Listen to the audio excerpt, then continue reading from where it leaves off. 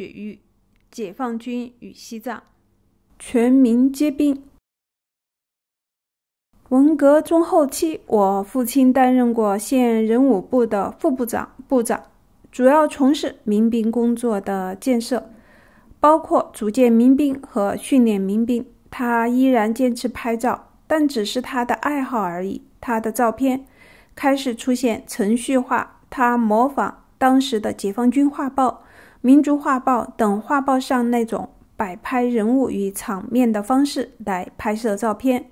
也即是说，他的照片不是抓拍到的，而是摆出来的，所以他的摄影失去了文革初期在拍摄红卫兵杂事院和斗牛滚蛇神时的真实性和生动性。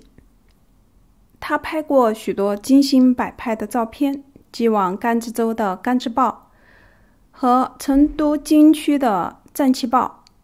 不过获得发表的不算太多。在我的记忆中，我父亲常常收到退稿，但他并不气馁，还在家里设置暗室，自己洗印照片，使我母亲对他如此费钱费时的行为颇有责言。这一组照片拍摄的正是拉萨和康定的藏人民兵在训练、学习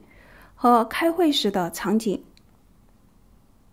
民兵是军队的助手和后备力量，为此，军队在西藏的广大乡村大力建设民兵队伍。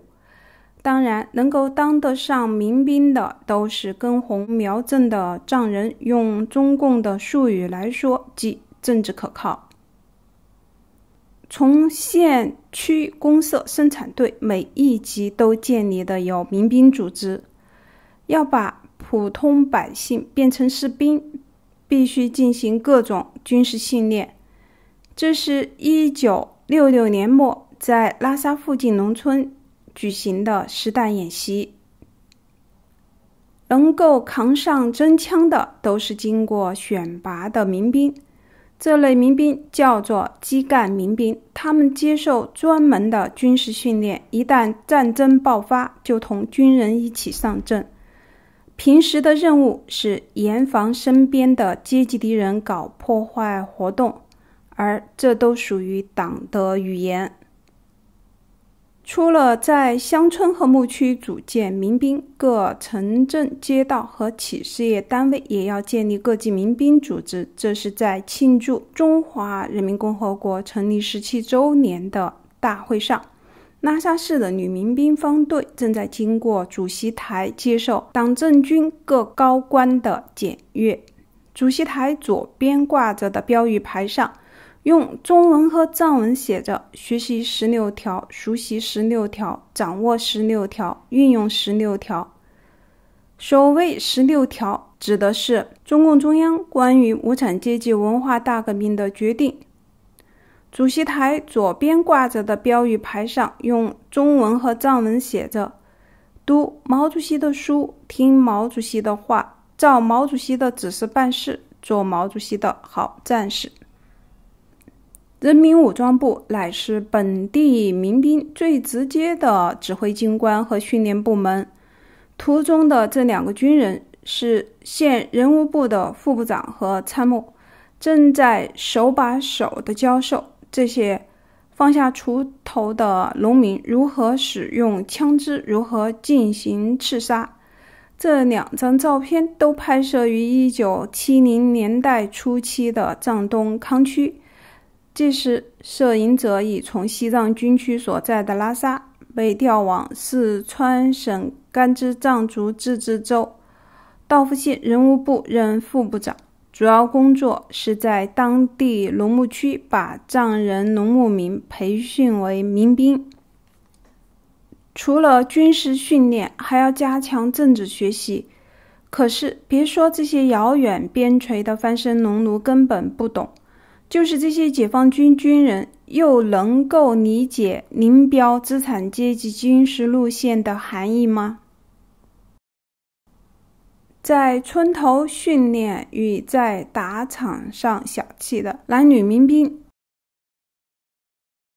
注意看这个康地乡村保留着高高的古碉楼。康区男女民兵肖像。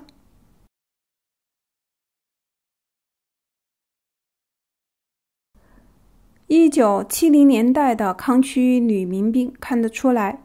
这幅照片明显具有表演痕迹，正是我父亲模仿类似解放军画报上同类题材的照片摆拍出来的。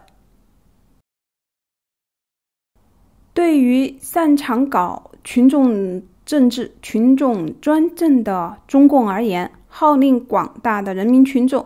参加各种各样的对敌斗争，是其长期以来所坚持的优良传统之一。这叫做全民皆兵。因此，类似民兵这样的群众性武装组织，历来为中共所重视。毛泽东的语录中有。我们不但要有强大的正规军，我们还要大办民兵师。早在一九五零年代，与全藏区各地镇压藏人反抗，中共便已开始从翻身农奴中组建民兵。自文革期间，不但边境地区有民兵，西藏几乎每个乡村、每个牧区、每个城镇中的各居委会都有民兵。各县的人民武装部就是组建并且训练民兵的直接机构。用党的语言来说，数量众多的民兵，既要对外防守边防，还要对内斗争阶级敌人，成为驻守西藏的中共军队必不可缺的同盟力量。事实上，无论是在破四旧，还是在斗牛鬼蛇神的运动中，还是在两派为争夺权力打得不可开交时，都有许多民兵，这些不穿军装的军人参与其中，最为活跃。曾经砸过佛塔、烧过经书、斗过走资派的强巴人亲，就承认自己当过民兵，而率领他们的民兵队长。就是至今仍担任居委会书记的积极分子刚柱。按照毛泽东的民兵工作要做到组织落实、政治落实、军事落实的指示，西藏军区的一位高级军官在一九七二年对藏人民兵干部的一次讲话中说：“组织落实，一就是有班排连等组织。”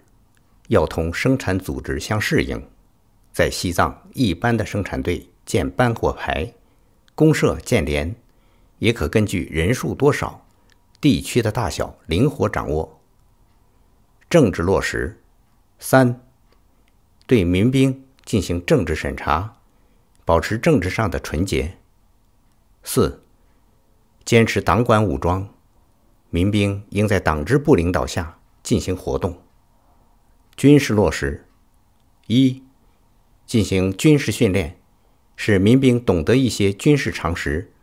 如站岗、放哨、抓特务等；二、会保管和使用手中的武器；三、积极进行各种勤务；四、提高革命警惕，做到能招之即来，来之能战。一九六九年以后。文化大革命又增添了一个新的内容——战备。据说第三次世界大战即将爆发，为了防御帝国主义分子和修正主义分子有可能发动核战争，毛泽东连续发出号召，要准备打仗。深挖洞、广积粮，不称霸，备战备荒为人民，战略地位堪称无比重要的西藏。也随之进入战备阶段。许多城镇如拉萨、日喀则、昌都等地的民兵，虽然不必像农牧区的民兵参加生产劳动，但须得投入到名为人防工程的建设之中。这正是为了贯彻毛泽东提出的“深挖洞、广积粮、不称霸”的战备方针。从中央到地方，成立了全国性的人民防空领导小组和各省市自治区人民防空领导小组。一时间，全中国到处都掀起一股挖防空壕、建防空洞、搞防空演习的热潮，西藏也不例外。今天在拉萨仍可看见当年的防空洞，比如位于布达拉宫所在的妈布日山下东边的防空洞被封闭，西边的防空洞已被改成卖青稞酒的酒馆，其对面比邻药王山的自来水公司就是当年的防空指挥部。据说药王山下面也有防空洞，而之所以要在那里挖防空洞，民间的说法是，因为靠近自治区党委政府大院，一旦有敌机进犯，领导干部可以迅速撤离。各居委会也在爬过老街挖了不少防空洞，不知现在尚存否？在采访中，好几个人都谈到，正是因为在妈波日山下大挖防空洞。且使用大量的炸药爆炸山体，导致布达拉宫从地基结构到建筑物均遭到极大的损害，出现裂缝。一位当时在拉萨中学就读的藏人，至今记得上课时常常听到爆破的声音，震耳欲聋。有时路过附近，甚至能感觉到地面的震动。而近些年之所以对布达拉宫重复维修，恰是当年深挖洞以及1959年中共炮兵猛烈轰击布达拉宫所造成的后患。其实，更多的后患经由在把民变成兵，乃是对西藏传统文化的一个颠覆。自从慈悲为怀的佛教传入藏地，不杀生、非暴力的思想已成为整个藏人社会的共识。可如今，共产党在藏地的每一个角落大搞全民皆兵，让那些普普通通的老百姓变成一个个手持武器的士兵，将身边的邻里和乡亲都假想成阶级敌人。时刻提高警惕，无疑是将暴力和恐怖的种子播撒到了这块相对祥和的土地上。